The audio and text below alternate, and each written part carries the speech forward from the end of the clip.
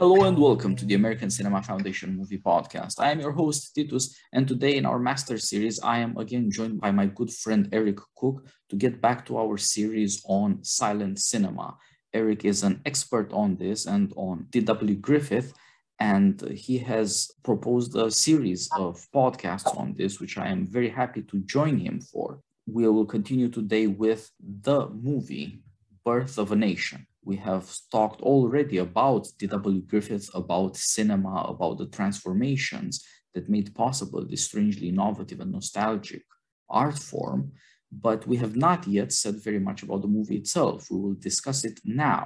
Birth of a Nation is a three-hour movie. It was an astonishing achievement, of course, at the time, and it is still uh, an astonishing thing to experience now. Is split in two parts. The first deals with the Civil War and the second with Reconstruction.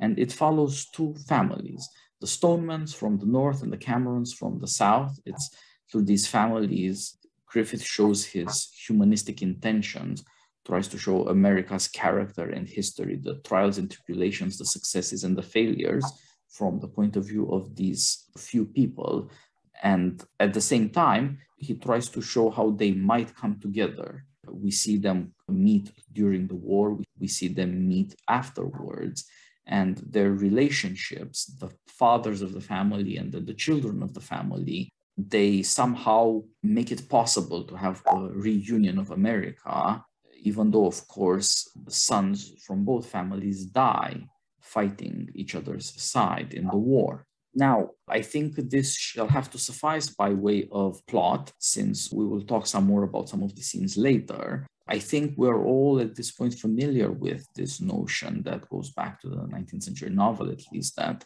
from the point of view of a small cast of characters, you will give not only the gist of an event, but somehow reveal the national character and the national travail.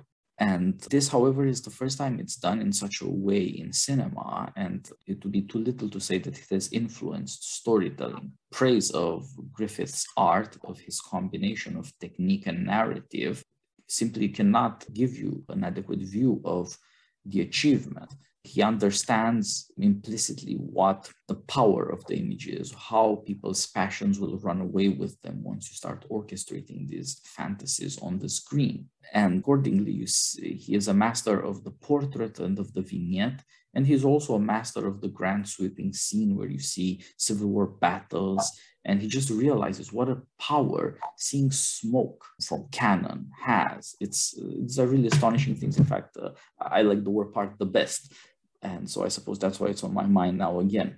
But he goes through so many different kinds of shots, so many different kinds of scenes, from the sorts of things you would see in theater from, to the sorts of things you'd only read about in novels, and so on and so forth, to try to put together a vision of what America went through that would give his narrative, which is of course entirely fictional, the power to carry conviction. And however, I have to leave it at this for an outline of the plot. Now, Eric, thanks a lot for joining me to complete our discussion of Birth of a Nation. Now that we have talked about the plot briefly, we should talk about the source novel and the way Griffith has dealt with this story. Yes, thank you, Titus. It's great to come back and have our conversation on the birth of a nation. And one of the things in your introduction that I thought was very well said is that this does have the feel of a great historic novel. One would think Tolstoy, you know, trying to tell War and Peace, the upheaval of the Napoleonic invasion of Russia, and how, in a sense, it forges the Russian nation. And so Griffith achieves that in cinema, but it is not the case that his source material was as elevated as Tolstoy, and I put it mildly.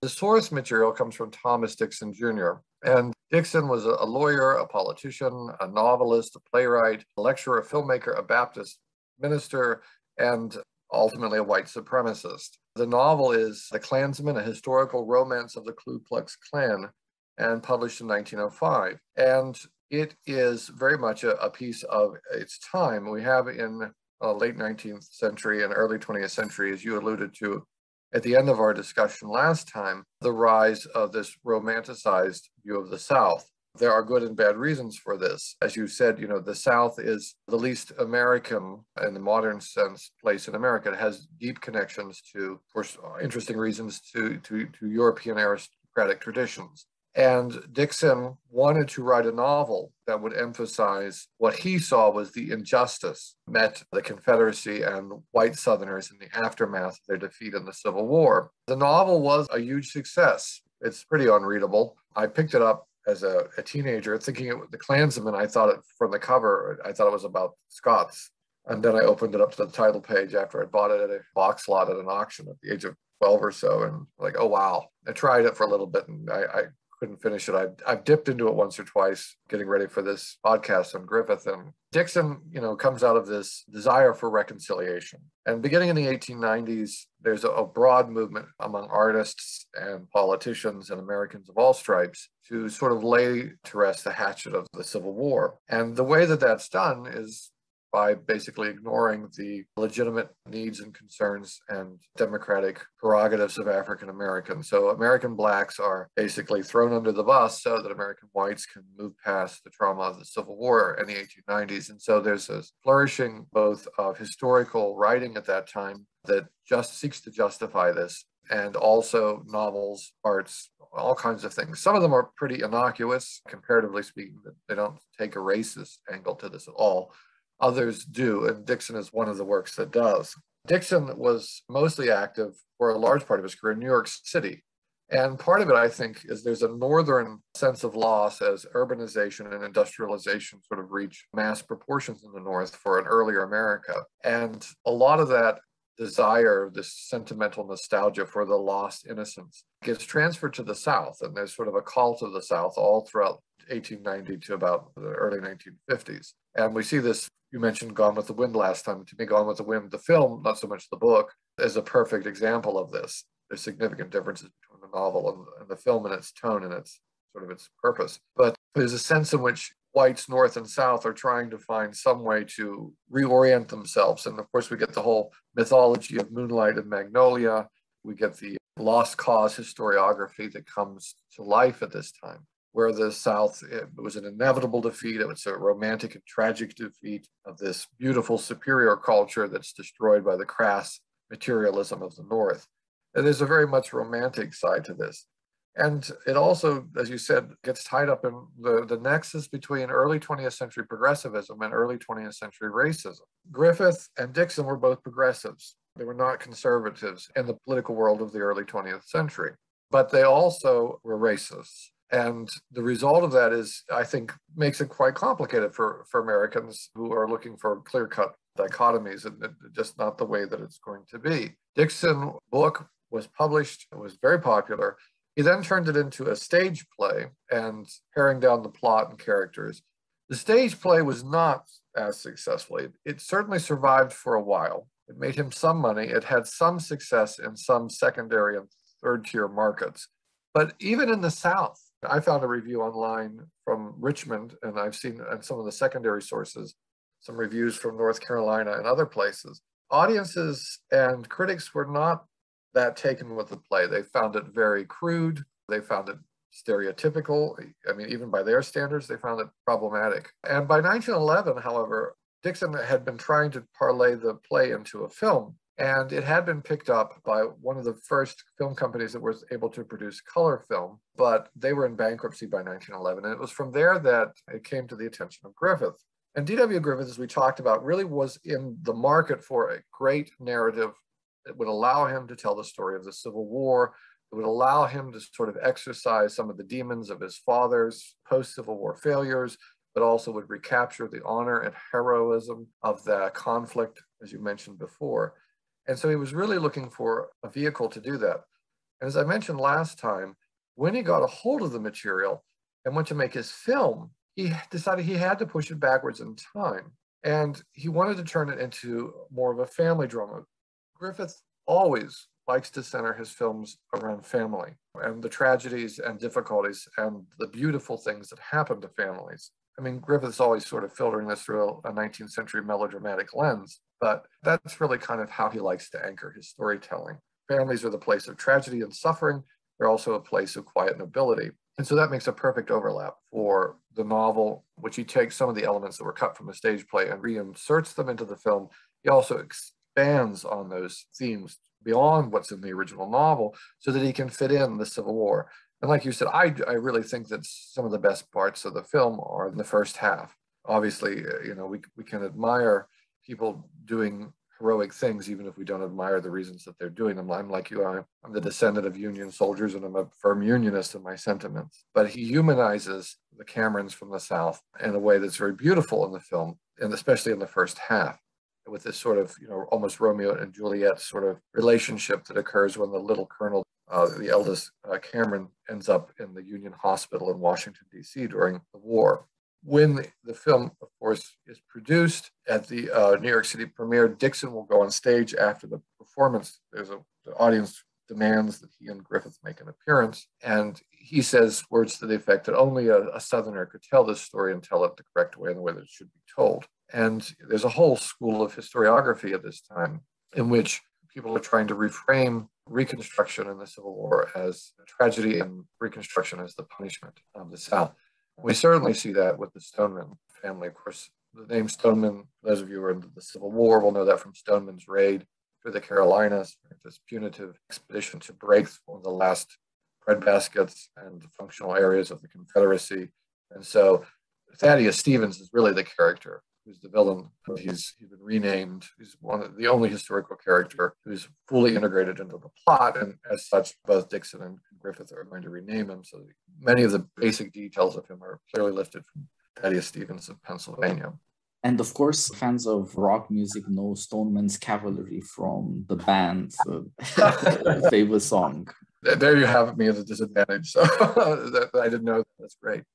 As we get into the, the film itself, I hadn't watched the film for many years getting ready for this podcast. By the way, if you're going to watch the film, this is not this is not a paid commercial endorsement. If you're going to watch it, because live screenings are rare for obvious reasons, both its length and its controversial nature. The two editions to get on DVD or to stream are the Kino Lorber three disc set with music by the Mont Alto Silent Film Orchestra under Rodney Sauer, or I think that's a great set got all kinds of wonderful extras. I think the uh, Cohen Media 2016 release is superior. It has a better, a more fully restored film, and it has the original uh, orchestration with a little bit of tweaking, but the tweaking makes it better than the original. So if you want to experience it with the emotional impact, that all you can get get the Cohen Media version. If not, I I recommend the Kino Lorber edition. When I watched this recently to get ready for our, our conversation, I was taken aback because I, again, I hadn't seen it in many years, and it was my first time seeing the new Cohen restoration, which was is about five years old. I was taken aback by how beautiful it is and how successfully integrated the music and the images are. But the other thing that took me by quite astonishing was the fact that Griffith opens the film. Not only does he push us back into antebellum America on the eve of the Civil War, he pushes the film back to 1619. And, you know, if you've followed the controversy of the 1619 articles of the New York Times, the modern age, there we are. I mean, there's that progressive connection. And one of the things that, that Griffith does is he opens his film with the importation of African American slaves to Virginia in 1619. He also opens it by showing them being blessed by a clergyman. Now, what's interesting is, of course, 1619, Virginia is an Anglican colony, but it's very clear that the costuming, the clergyman is meant to evoke the Puritans of New England. And we move immediately from this hypocritical blessing of slavery in 1619 by a clergyman to an abolitionist meeting in the North at the period right before the Civil War. And in that scene, we see a preacher extolling the horrors of slavery and the need to end it. And we see a wealthy white woman and a small black boy who's taken through the audience, who's obviously there to generate sympathy and to help raise money for the abolitionist cause. And a scene that we know exists because it's remarked on by period reviewers and was also asked to be cut by African Americans who were appalled at it. And you can tell this from what remains in the footage. The white woman is offended by the smell of the African American boy. And so Griffith, the progressive, frames American history in a nexus between the importation of slavery in 1960 and the hypocrisy of both the clergy and the abolitionist movement. And frames them in their relationship to African Americans hypocritical. The Northern, what's interesting to me is I see the scene with the Northern white woman as an indictment not of generic racism, although it, it feeds into a, a stereotype, ugly stereotype, but rather that it's Griffith's attack on Northerners and their revulsion at African Americans who they don't want to deal with. And he's, that's how he frames abolitionism. It's very important for the film that we've moved from then to the immediate late antebellum period. What's elided over completely, of course, is 1776 and all that is implied in that. Yeah, I think the movie is marvelously apposite because you could say that the progressive view of history today that everything was one screaming hellhole after another until today's progressive to control is remarkably similar to W. Griffith's history, where the only people who are really wicked are the ones who really oppose slavery. Now, granted, historically, abolitionists are not often prudent people and they're not necessarily good people either. In fact, it only takes a moment's thinking to realize that abolitionism and racism are perfectly compatible as views. But this notion that the only real problem in America were the abolitionists and they're somehow hypocritically connected to the Puritan founders of New England rather than Virginia, you know, that's something that you nowadays hear from progressives. And then, in fact, you could say that this is the progressive view of birth of a nation. It's the birth of cinema, it's American uh, racism, it's white supremacy, it's yeah, da, da, da, da, da, all, all that sort of stuff. And perhaps you could, we can see why the 1619 project and all this sort of hysteria today has a certain power. Like Griffith, it has quite a certain talent for what we call setting the narrative. But to, to speak perhaps less abstractly, you have a very clear view of where the origin of evil lies and how the rest of us are victims of it. I think that you're right. Griffith is clearly setting up this framework for his narrative where the people like the Camerons and people, not Stoneman himself, because he's the chief culprit in the plot beyond the sort of generic abolitionist forces. And as you said, you know, we have to be careful. I mean, the abolitionists themselves were sometimes quite racist in their own way. But yes, these other American families are going to be caught up in this vortex, and, and Griffith lays the blame here, even more so than Dixon does in the original source material. And so the whole story then turns to this question of the war that separates families that might have become united in holy matrimony, right? The Stonemans and the Camerons, the sons and daughters, are sweet on each other. And this will be of great importance to the terrible outcome in the second part. Yes. Um, you know, it's interesting because the Stoneman boys and the Cameron boys meet each other through school. And so, which, and this is very real. Uh, this is part of the reality of antebellum America that a lot of privileged sons of the South would go north for part or all of their finishing of their education. And they did have these deep friendships with Northern families from this educational and social elite. And the other thing that's quite striking on rewatching the film is that we modern Americans tend to think about antebellum America, and I blame bad history teaching for this, there's a, a great deal of emphasis put upon the sectional differences, which were certainly there. But as the film illustrates, and as you study the period, while there are definitely these sectional differences, they're, they're not just north and south, they're east and west in every which direction. But there's also a sense in which there is a shared American culture, and that's there's an easy back and forth between these families. And building on Griffith's point of view, cinematically, that the, the point of contention is slavery. But when we see Griffith's depiction of Southern slavery in the first half, when we go to Piedmont, South Carolina, and the, this elegant home of the Camerons, two things that are kind of interesting. One, the mansion itself isn't set out on a plantation, it's set in the context of a small town, which is interesting, and especially because of Griffith's both nostalgia for and criticism of small towns in his other films, but also there's a separation then between this townhouse. We're not looking at Tara like in Gone with the Wind. And then we move over to the cotton fields and the slave quarters. And what we see is a, a slow, elegant, and refined life, but one that's not centered on the plantation, but centered on Southern community. And then we see the, the depiction of slavery. And throughout the film, for the principal African American characters, Griffith does not use African Americans. He uses white actors in blackface. And all of the actors in the early silent film productions, even into the almost late 20s, did their own makeup. And so the, the makeup choice here becomes minstrel show traditions of blackface. So they're white characters playing the servants of the Camerons or the interracial villains who assist Stoneman are white actors in blackface. Now, the other supernumerary extras in the film are African Americans for the most part. And so the life of the Camerons is depicted as paternalistic, aristocratic. Slaves are shown seeing that they have plenty of time for song and dance. And, you know, there's an implicit comparison to the working hours of Northern whites that, you know, that these African Americans who are enslaved have it better off. And so Griffith sets this up he doesn't dwell on this. As you said, he's more concerned with this potential romantic and also the, the friendship between the boys is very clear that these are two families, though from very different sections of the country, that are very easily able to fit together romantically and otherwise. But it's going to be this issue of interracial action because, of course, Stoneman's the father, and he has a housekeeper who's interracial, and the implication is that Mary Alden, who played the character Lydia Brown, is Stoneman's housekeeper, but also his lover, his common law wife. And there lies the heart of the, the conflict that will flare up in part two of the film.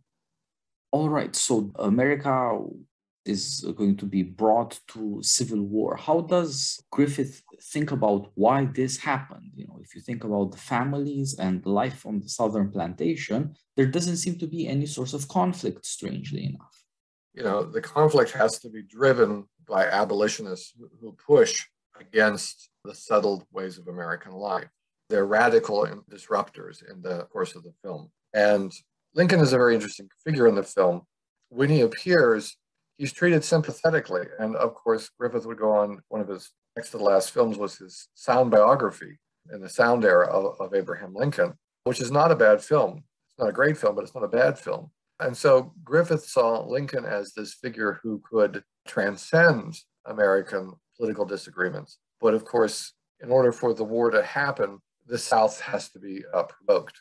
And so the film depicts the South reacting defensively to people like Austin Stoneman pushing for abolition in the North and the election of Lincoln as is inappropriate. But really, it, it boils down to the attack, on, the news of the attack on Fort Sumter that the South has been attacked. And so this becomes, for Griffith's audience, a defensive war, and for his characters, a defensive war to protect their home from aggression. And this, of course, is, fits classically into the lost cause historiography of the time, and, and that's what's emphasized. And but we see a patriotic response from Griffith's point of view from both families, right? The sons enlist in order to do their patriotic duty for both the North and the South. And Griffith doesn't judge this. It's kept very abstract. But once combat is joined, then he's going to paint this as a case in which people of both sides are going to suffer tragically. So we have the death of young men in both sides of the enlisted armies. And then the result of this is that we can have Confederate soldiers who are going to have to defend the town of Piedmont from an attack by Black militia on the Cameron home. In the meantime, we also get the siege of Petersburg in Virginia. Many of these events are telescoped by Griffith. And actually, there is possibly a missing section of the film as we have it today. When we see the film today, basically what we are seeing is the 1921 reissue of the film. Griffith was an inveterate meddler in his own films. There's stories, possibly apocryphal, of him at retrospectives at the Museum of Modern Art in New York City going into the projection booth with a pair of scissors because he wanted to change something. But he was always tinkering with the film. So what we see today is the 1921 reissue. So we get Sherman's march on Atlanta, we get the destruction of Atlanta, and all of these vignettes add up to the main battle, which is centered around the siege at Petersburg, with that, that very famous image of Cameron uh, rallying his troops from one siege line to the other and coming across and planting his flag in the Union cannon before being wounded and then being captured. All of these moments portray the horrors of war. Griffith was opposed to war of all kinds. And although he would sort of make later Hearts of the World, which is a propaganda film about World War One, even at the beginning of World War One, he is opposed to this. It's sort of ironic to think that he's filming this in July and August and September of 1914 although we think that he did the battle sequences very early because he knew he had the money to have all the extras and explosions, right? And equipment, which you had to rent horses and cannons and so forth. But it's very ironic that the siege warfare with these entrenched lines are going to be a reality in Europe just in a little bit. But throughout the Civil War segments, we see the patriotic response of both sides, but we constantly emphasize the destructiveness of war. There's this very famous scene where Sherman's troops are marching. You know, it's shot in California, but it's supposed to be Sherman's march to the sea. And we see the troops marching in a valley, and we see a burned out farm or plantation and other signs of destruction as the Union troops are marching. And the camera slowly pans up the valley, so we see this army on the move. And just off to the left of the scene, there is this refugee family having breakfast. Those actors who were did not know they were being filmed we talked last time that Griffith was an improvisatory kind of guy. He and Bitzer realized that this was a, these people who were just actors who were exhausted from their acting or taking a break and eating their breakfast would make an amazing vignette. And so he combines these two general images, one of an army on the march and, and the destruction that it brings. And then he's able to narrow in the epic scope of this and of course we're up in the valley so we have like a god's eye vision of this then narrow this down into the effects on this mother and her children who are portrayed as trying to survive in the midst of this destruction and the same thing happens when we get the black militias raid on the town of piedmont destruction and mayhem are the, the results of the forces unleashed by war but for griffith the Civil War is unleashed by people like Austin Stoneman and the abolitionists, and it is a defensive, protective move by Southerners, which of course is how many Southerners to some extent saw the war at the time. But uh, as we said, this leaves these gaping holes that the second half has to deal with. Yeah, so of course, you know, the Civil War did involve the North invading the South, but that does not say anything about the cause of the war itself. With respect to Griffith, I think you're right that these great scenes show how well he is able to put things together so that emotionally it all adds up. It all makes sense. Now, but if you stop and think about it, of course, his pacifism is itself the cause of the fact that he gives an account of the war where there is no cause of war. Say the least important faction in American politics, the abolitionists, end up bearing all of the brunt because they wanted uh, an end to slavery, and the war, after all, did bring an end to slavery. But that does not make them a cause. Wishing don't make it so. In another sense, however, since one came before and one came after, they can be called cause and effect. That works in the movies, that works in poetry. It doesn't mean it's true, however. All the technique, so to speak, of cinema, all the artistry is put in service of a kind of thinking that's deeply at odds with itself as you're saying, Griffith is anti-war. He would not be able to be interested in war in the way he is if he were not anti-war or a pacifist. Unfortunately, a pacifist is not one who understands why war even happens. Perhaps to deplore war, absolutely, one has to not be aware of the justification or the necessities or even the good of war. His ability as an artist to give the emotional vision of this devastation the hopeless courage of these young men, and also the distant shots that show you the effects on people, on uh, the landscape, this strange, seemingly inevitable destruction unfolding. There's something to be said for that. We experience it in this way. We think of war in this way, but it is a remarkably apolitical view of war. And so perhaps Griffith's ability to persuade America to look at things this way has to do with a certain willingness already in people to see the war this way. They think that's not an issue of white supremacy. I think the problem is elsewhere. You, you can think everybody after the Civil War had to live with the consequences.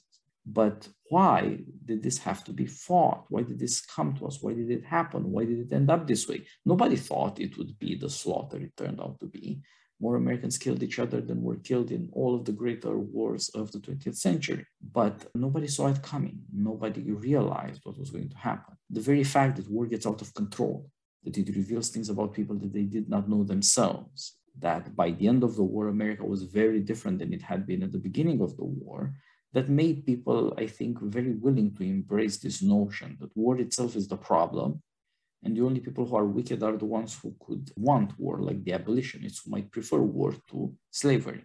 Yes, I think that you see this sort of strange pattern throughout the film where many things are turned around upside down from the reality, the historical reality. The thing that struck me was, you know, with Austin Stoneman and, you know, Lydia Brown, his housekeeper.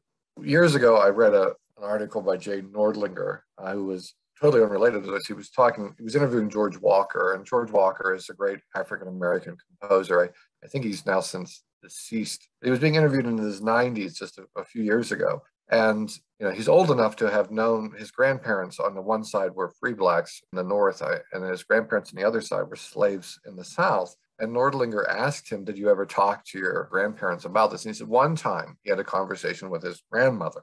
And the only thing that she said, and I this this quote has stuck with me for years. I think it's the most perfect distillation of the horrors of slavery is that when he had this conversation with her, I think this would have been the late 1920s, early 1930s, her response and her only response was, they did everything but eat us. And of course, you know, coming from a woman, your imagination can do the rest. So here we have this film where, and Thaddeus Stevens did have most likely at least a platonic, if not a romantic relationship with his light skinned African American housekeeper that's portrayed as somehow normative for the North, or at least normative for abolitionists, or at least a sign of their hypocrisy. But of course, if you know from reading like the Diary of Mary Chesnut and other Southern writers, especially women who had somewhat of an outside perspective, the sexual abuse of female slaves was a, was a massive problem in the South. So all through the film, we have these moments where things are turned upside down. One of the things that researching this I did not know was that Thaddeus Stevens' home had been subject to a raid by Jubal Early in the 1863 Pennsylvania campaign. So the very thing that's portrayed in the Cameron home in the South, which of course did happen to many plantations in the South because of Stoneman's raid and Sherman's march to the sea and so forth. Certainly this happened in the South. It's ironic that this actually did happen and something like fifty or eighty thousand dollars worth of damage were done to this farm. And Stevens had to be forcibly removed by his servants and employees because he didn't want to leave his house. He wanted to face the Confederates. And Jubal Early said words to the effect, they said, Well, what would you have done? Would you have arrested him and taken him to Libby Prison? He said, No, I would have murdered him, hung him, and quartered his bones and sent them to every you know, capital in the South. So there's a blindness about the horrors of war being reciprocal and that the horrors of wars arise specifically out of race-based chattel slavery. And Americans at this time wanted to turn away from that. And like you said, so we get this strange war without a real cause, or at least a very minor cause is blown up into the only possible cause of the war. So when we get to the assassination of Lincoln, which is brilliantly shot and depicted, there are over 50 individual shots in this short segment that shows the assassination of Lincoln. And Griffith very carefully builds the tempo. And we see the actors portraying you know, John Wilkes Booth and Lincoln and Lincoln's Guard and the audience for uh, the play, you know, Our Mutual Friend and the actors on stage. And from all of the footage, hundreds of different shots and ton of footage, Griffith brings us down to this pacing where we get the sense of this impending moment and the sudden cataclysmic shot and then Wilkes jumping onto the stage. So as, as we come to the end of the first part of the film, we also have the horrors of this assassination. And for Griffith, this is the friend of the South because of the belief that Lincoln was going to be just the Southern whites. And, and Lincoln would have been, I think, more lenient in some ways than what happened, but I think Lincoln would have also been you know, more prudent in his treatment of the South, but he also would have tried to preserve some of the gains for African Americans, which Southerners didn't want to contemplate. So it becomes easier to make Lincoln into this figure that's going to treat them well as opposed to the radical Republicans. And so it's interesting that we have this assassination, which is carried on by a, a Southern sympathizer to, to sort of bring together the end of the horrors of the war. The other thing that we see, though, is we see that, that Elsie Stoneman has fallen in love, or at least the beginnings of love with Cameron again and the recovery from the hospital. And so the Griffith is trying to put the train back on the tracks here that in spite of Lincoln's death, things could bring America together, but then part two brings us the additional complications. Yeah, I think this portrayal of Lincoln as the great hope of Americans coming together and then hope snatched by this cruel, cruel madness of war, he is assassinated, is of a piece with the complete uh, cluelessness about the cause of war. And again, a very moving portrait precisely because it speaks to something we all feel that why does any of this need to happen how can this horror somehow be unleashed by us since we all wish for the best So it, it's incredibly plausible that way. But of course, Lincoln is in a very important way the cause of the war. After all, had he not been reelected in 1864, his former general would have put an end to the war since he was a copperhead, McClellan, right? There was a faction in the North against the war. Without somebody like Lincoln, this would not have gone on. And more importantly, of course, the thinking through of why the war had to happen if the South was going to succeed, that is Lincoln. Not everybody in America thought that, uh, yeah, you know what, if the South wanted to secede, we're going to have to have a war. So Lincoln is a great war president. His greatness is impossible to separate from the war, but the movie simply does this, affects the separation, because it cannot contemplate that such a thing as this war had to be done. It's strange, but I noticed this both with respect to the causes of the war and with respect to the character of Lincoln's portrayal, that why this was even done simply has to be forgotten. And to the extent to which this is an attractive portrayal, to the extent to, which it speaks to our natural horror of war, even those of us who are not pacifists, you can see America was always going to have to have, was always going to face a great difficulty in teaching about the Civil War since everybody wishes that it sort of hadn't happened. And so once dead, Lincoln can become a martyr of not the lost cause, but of a lost opportunity for peace between North and South, which eventually will mean the same thing as the lost cause. The South shouldn't have been annoyed.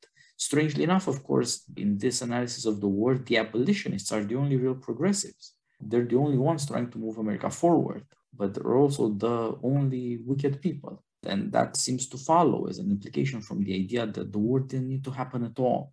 And I think this is worth considering in all other depictions of war. The power of these images we get in war that shock us and leave us helpless as spectators, I think that has to do with the fact that we just wish it away and we can't understand why there is a necessity for it.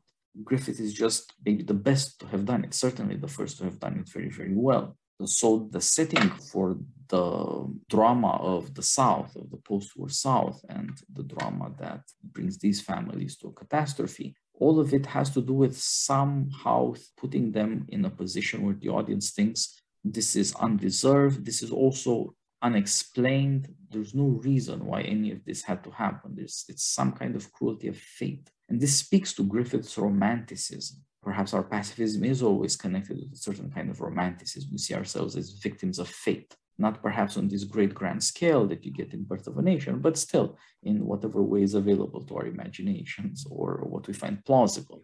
And so the very fact that this is a drama, the, the very fact that this is something that we wish to experience so that our emotions are played upon in a certain way, so that certain sentiments are aroused and we hope vindicated. This, as it were, leads us to like this kind of storytelling. Yes, and you know, in order for there to be drama at this point, we've had this sort of mystical experience of the war, and at the very end of the film, we get a, an apotheosis of Jesus Christ, and we sort of see to me, that's Lincoln and the Christ connection, right? And this idea about pacifism are, strongly intertwined in Griffith's thinking. But then we have to go to the second half of the film, which, of course, there's one thing that sort of bridges these two and sets us up is that there's, and, and this shows the power of, of Griffith's ability to, to manipulate emotions as a poet and as a filmmaker. Cameron, uh, the little colonel, returns from the war, and we see his sisters trying to decorate their sort of homespun dresses with bits of raw cotton uh, he calls it Southern Ermine in the intertitle. And then they meet on the porch, and this is very slow, methodical, emotional build-up to this point where he can embrace his sisters, and then he's drawn into the house. And Griffith has a humanity to his filmmaking, whereas we can then see this as the return of any soldier home after war, and the sense of both loss and desire and reconciliation with one's own family, in the sense of just being with them and reincorporation in the community, but knowing that there's always this pain behind it.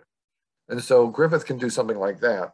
And then he invests the second half of the film in his drama of reconstruction, which now portrays Stoneman is, is going to move to the South in a strange twist for his health and end up lodging with the Camerons. And in the process, we see the elevation of the freedmen, the Southern Black Americans who are now no longer enslaved, and it's a political catastrophe. This is depicted with every possible stereotype. And we see a session of the legislature where they're eating fried chicken and guzzling alcohol and oogling white women in the galleries. And we see ballot stuffing and the abuse of the former white elite being turned away from the ballot box. And we see the character of Silas Lynch, whose name, you know, is just kind of incredible when you think about this, who is another mulatto, half white, half black character who's become Stoneman's right hand man and henchman as he tries to implement Reconstruction in the South. And in this, of course, our sympathies are drawn to the Camerons, who not only have they lost their social standing and their wealth, not only have they lost sons in the Civil War, but of course, then we get to the main event of the second half of the film, which we have a character named Gus, who's a freedman who's been promoted to captain in the Union militia that's keeping order, or you know, as the film would depict it, disorder. And he confronts Flora Cameron, who he follows into the woods and of course, this is an implied rape attempt, but rather than allow herself to be trapped by him, she throws herself off of a cliff and dies. Her brother finds her at the last moment. And of course, he's already been formulating in his mind a way to reassert the social order that has been upset by the result of the Civil War. Again, the film portrays the social order as having been beneficial, if condescending to Black. So the tragedy, of course, here is that this perfectly reasonable social order has been mysteriously upended by the abolitionists. And so we have got to put this back. And the way to do this is by the creation of the Ku Klux Klan, which is taken from a group of children playing Ghost with a white sheet. And so this is supposedly the origin of the Klan. Originally, Nathan Bedford Forrest was going to be a character in the film that was cut. And so it then passes over to Ben Cameron, his father is arrested uh, after they capture Gus, this former slave who has done this, right? Again, played by a white character in blackface, and lynch him, hang him for his crimes. Then the Silas Lynch then kicks off a search for what has happened, and they find the Klan regalia in Dr. Cameron. This is the, the father's possession. And he will be rescued, including by some of his black servants. But this kicks off the final breakdown of civil order in this community yeah and the most sensational parts of the movie the editing for the attack on the town by the ku klux klan to liberate them from the evils of reconstruction and then the attack on the hut where elsie Lillian Gish, D.W. Griffith's muse. As you said, she's hiding there from these other very wicked black people who are no longer slaves. And the editing and the filming there, this is just wonderful. The double climax into town and out of town, the right to the rescue, all of these things are astonishing. And of course, it all ends with a double wedding. The Camerons and the Stonemans, the North and the South, are intermarried. And after all, America's wounds are bound. I can't say enough for how well this is done. It's just beautiful filmmaking. But it also has this other drawback that there's more than a bit of insanity that builds up. Thinking about it now for the podcast again, I was struck especially by how plausible worries and fears and the sense of helplessness about the whole question of the war, I part one of the movie, sets up the moral and emotional stakes for part two of the movie, the reconstruction problem. And you end up with these strange insanities that just like the cause of the war ends up being the abolition is the problem in the post-war situation ends up being the least powerful people involved, of course, the black people. If you think about it, it's hilarious, but when you see it on movies, you can begin to see why people were appalled by this. And of course, why some people were super excited about it. In a way, everything that they had already always hated, reconstruction, can finally be blamed as a form of madness, as a lawlessness that uh, comes after the war, before the white Southerners restored their authority in this uh, rather bloodthirsty way. Yeah, when you see the riot that ensues after the lynching of Gus, and then we have this double denouement where we end up with basically Griffith reshooting his Battle of Elderbush Gulch, which was, of course, there we have Native Americans attacking settlers in the cabin, but it's a very similar setup, but he's, you know, he's honed his technique even further. And we have, of course, the infamous Klan ride. And of course, one of the great ironies, who's, who set the score, chose the Ride of the Valkyries by Wagner to set that. And of course, you know, for us, and also this idea of an Aryan birthright, which comes up, I think, at least two of the intertitles. Know, when we think of Wagner, you know, one of the associations in the modern age, of course, we think of Hitler's appropriation and obsession, although sometimes overstated with Wagner's music. And so yeah, there's this sense in which, again, these inversions of real history, the people least able to do something about the social situation as it breaks down in Reconstruction are those who have suffered the most and have the least power. And here they're shown as, you know, all powerful in, in, a strange way. And the Klan has to come sweeping in to rescue these people. And then in the cabin, of course, we see uh, former Union troops fighting with former Confederate troops. And who is their real enemy? Well, their real enemy are Black Americans. And it's, it's just horrific. But as you said, I mean, the, the, the filmmaking employed is absolutely superlative. Griffith shot the Klan ride from every conceivable angle. He had experienced riders, although rather poor quality horses, part of it, you know, at one point he's in a ditch with his cameraman. At one point, he literally saved Billy Bitzer's life by pulling him out of the way as a horse kicked him and smashed the camera. And so, you know, all these incredible risks to life and limb of individuals that there's kind of a comparative insanity in the filmmaking of the time, right? Silent filmmaking was just insane and glorious and at the same time. But yeah, it's all part of this topsy-turvy way in which we as white Americans can spin the failure, the utter failure of Reconstruction. Well, was Reconstruction really a failure? Well, not entirely. I mean, there were times when in places it worked, but once protective power was removed from the minority in the South and American whites gave up on the project, then yeah, it collapsed. And uh, this sort of film allows us to take history and turn it inside out.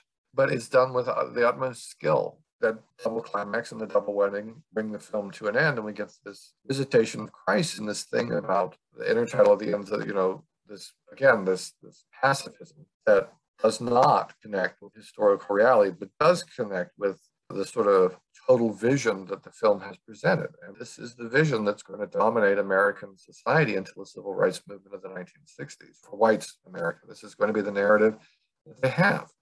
So Griffith is remarkably aware of the fact that although the Civil War defines America, somehow people are not very proud of it.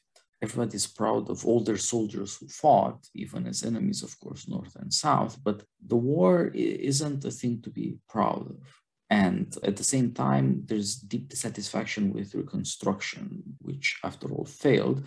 But also, how could it have succeeded if America gets back to being the United States of America, the South is reintegrated as states, then they're going to have states' rights. And that cannot therefore solve the problem of justice for Black people.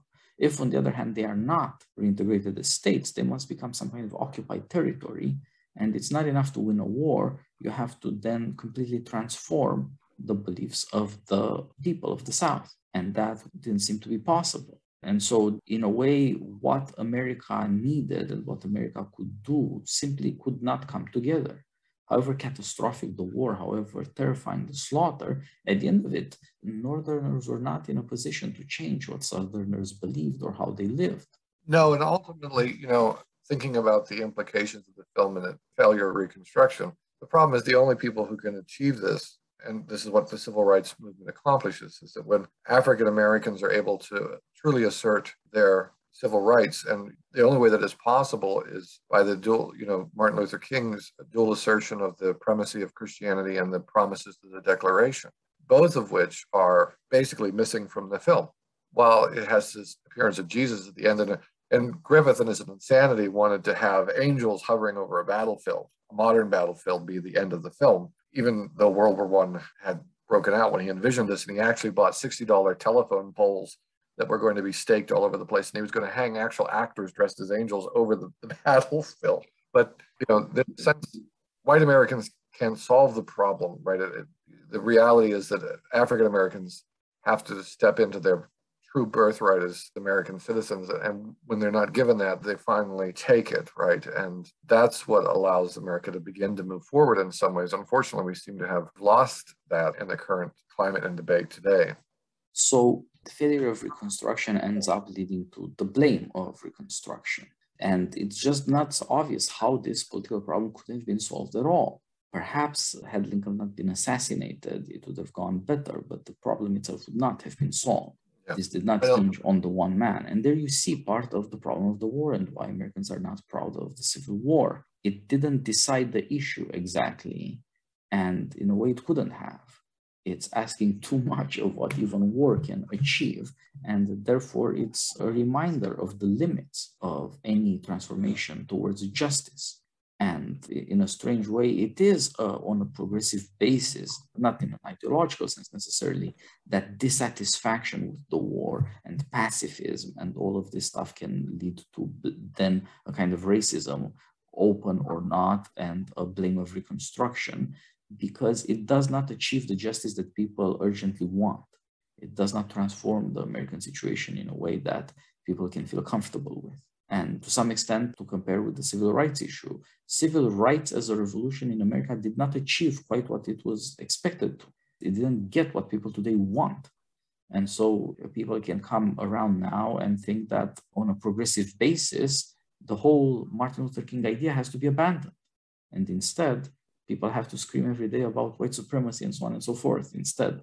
They want too much from justice. And uh, after all, since we are all mortal, they are understandably impatient people. But it suggests that both at the level of history and the level of dramatization for storytelling purposes, it is a very difficult thing to do to tell Americans that the war was necessary in a sense, you know, even good, and yet it could not fix problems in the way people expected after having paid such a horrifying price for it.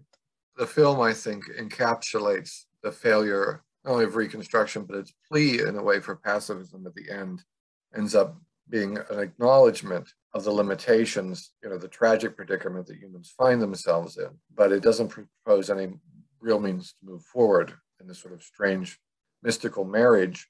We have the promise of it, but as we know, as we've just discussed, this is not possible. And so one of the things that I think that maybe limited Griffith's ability to inspire successors. And hopefully, when we look at his next film, we're going to talk about intolerance, that there is a limitation that we can achieve. And ideological progressivism sometimes fails to acknowledge that, which perhaps is why Griffith himself couldn't even follow himself up, both in his reaction to the criticisms of the film for being intolerant and the calls for censorship that would promote his ideals in the next film, Intolerance, you get a sense in which he's chafing at his at the limitations and of course the insanity in some ways of editing, which is both miraculously pulled off and the ending of A Birth of a Nation reaches a new level where we're not going to have two climactic moments, but instead four plots and four moments and four epochs of history, in the sense that Griffith wants to push the boundaries even further to achieve perhaps what he begins to realize he has failed to achieve at the end of A Birth of a Nation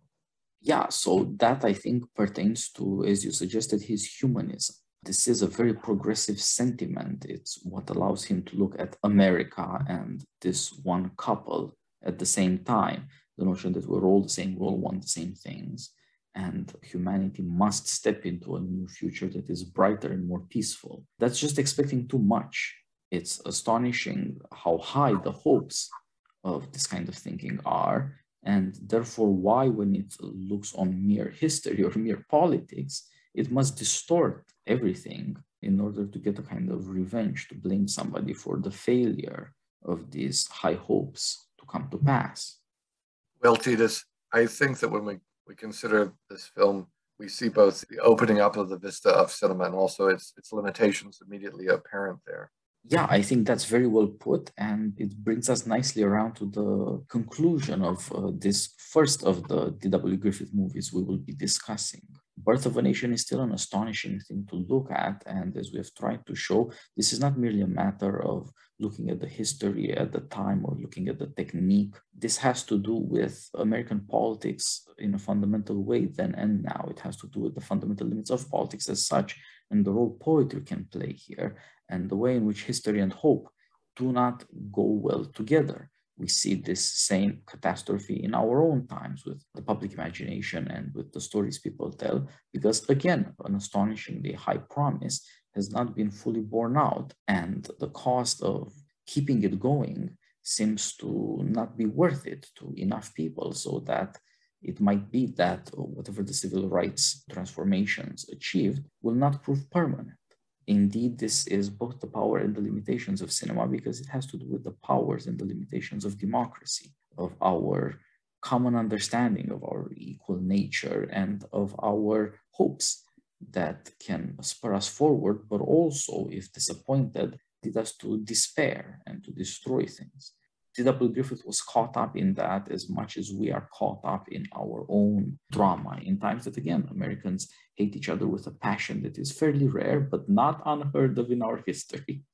and, and so it's strangely easy to understand today how people could have felt this way.